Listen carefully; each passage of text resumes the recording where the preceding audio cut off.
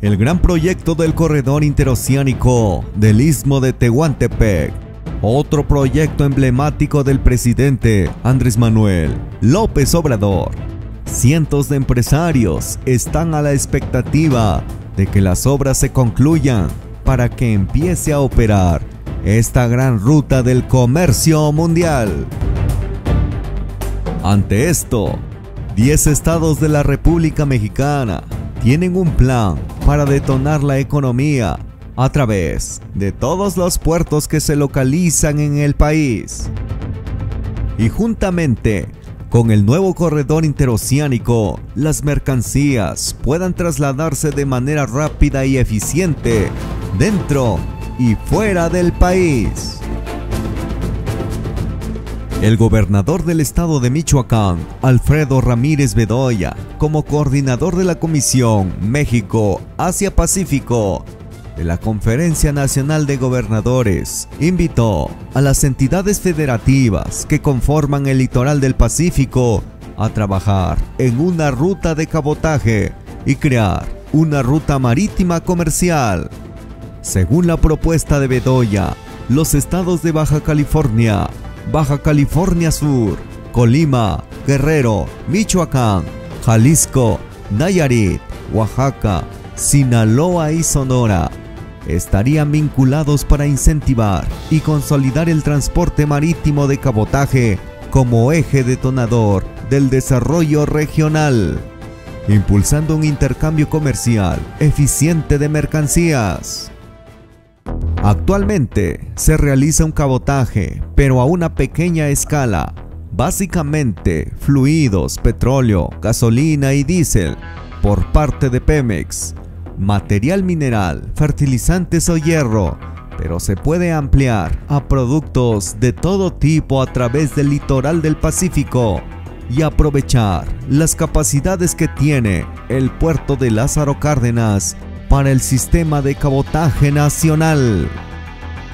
El mandatario estatal indicó que con estas acciones se busca articular el potencial de los puertos de la Marina Mercante y de la infraestructura portuaria de México para consolidar la plataforma logística del Pacífico y así fortalecer y generar nuevas relaciones de participación que impulsen el desarrollo económico a nivel nacional y con el inicio de operaciones del corredor interoceánico que unirá a los dos grandes océanos el desarrollo económico crecerá de manera significante.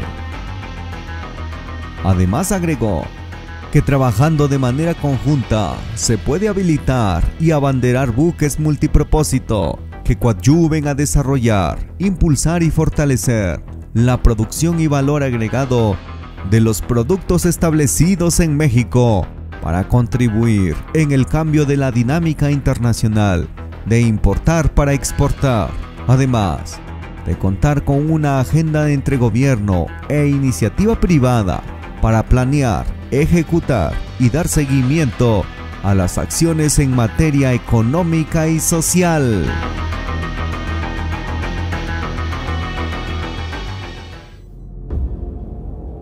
Tráfico de cabotaje.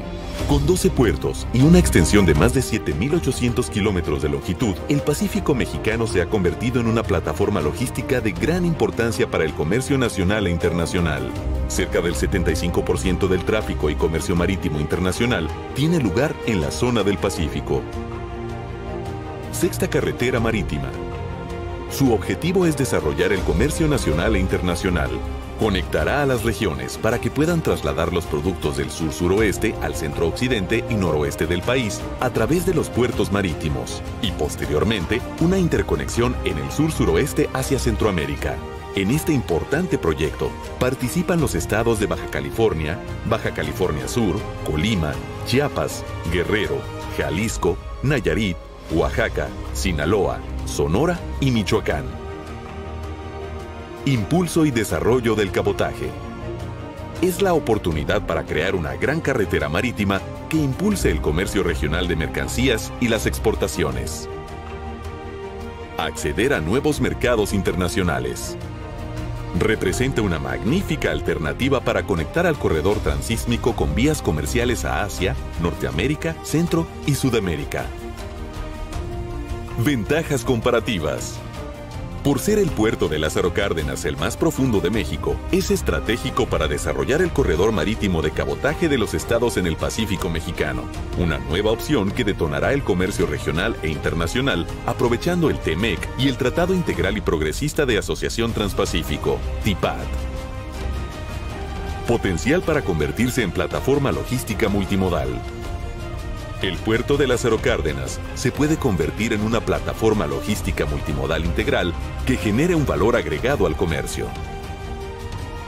Beneficios. Consolidar la plataforma logística multimodal de los estados del litoral mexicano, impulsando al corredor del Istmo de Tehuantepec. Contribuir con este medio masivo de transporte en el manejo seguro y económico de las cargas. Acceder a los mercados internacionales del continente americano y del mercado asiático, conformar y consolidar un nodo de distribución de cargas de México para Centro y Sudamérica. Aprovechar la ubicación geográfica estratégica de México para posicionar este medio de transporte masivo de mercancías en el litoral del Pacífico. Incentivar el abanderamiento de buques para que realicen esta ruta marítima. Integrar a los estados participantes con el desarrollo de los mercados regionales y vincularlos con los centros internacionales de consumo. Beneficios fiscales para atraer inversiones que desarrollarán utilidades en la infraestructura social de la región. Beneficios sociales.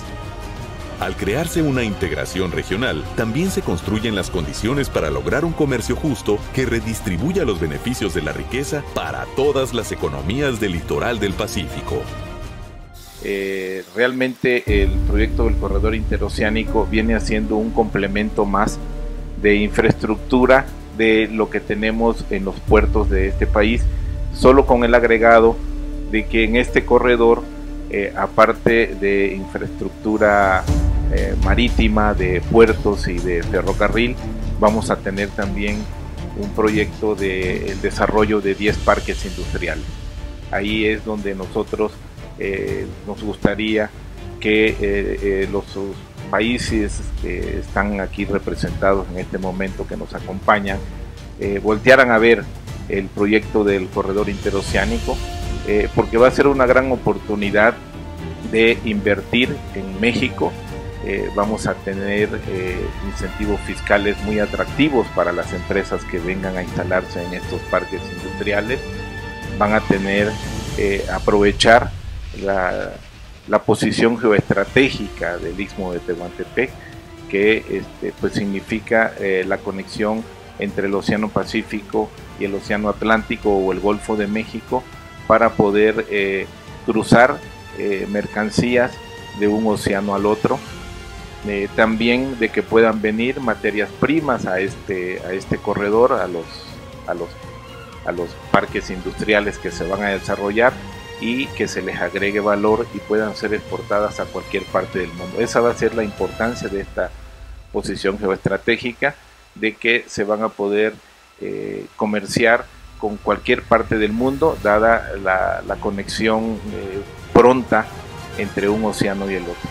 Eh, pues yo realmente celebro la creación de esta comisión, me da, me da mucho gusto y sé que vamos a avanzar y a trabajar muy de la mano eh, con el maestro Ramírez Bedoya, eh, así como con la Secretaría Marina, que tiene que ver con las asiponas, con los puertos, y creo que vamos a poder lograr una, eh, para empezar, la integración a través del, del cabotaje, la integración nacional eh, dado que eh, actualmente hay mercancías que salen, por dar un ejemplo, de Sonora en barco y tienen que ir a cruzar por el canal de Panamá para llegar al Golfo de México, a Veracruz o a cualquier parte. Entonces ya con este corredor pues simplemente vamos a, llegar a Salina Cruz, lo vamos a cruzar y vamos a integrar el comercio entre, eh, integrar la economía del país. aparte, también, como se ha mencionado aquí, el, el proyecto del corredor interoceánico, que es uno de los proyectos prioritarios de este gobierno, tiene como fin también desarrollar el sur-sureste, que ha sido una zona eh, del país que no se le ha invertido tanto como al centro y el norte del país. Entonces es la oportunidad de desarrollarlo, hay las condiciones, hay la voluntad eh, política para lograr este desarrollo y, e integrar esta zona del país que estaba un poco apartada.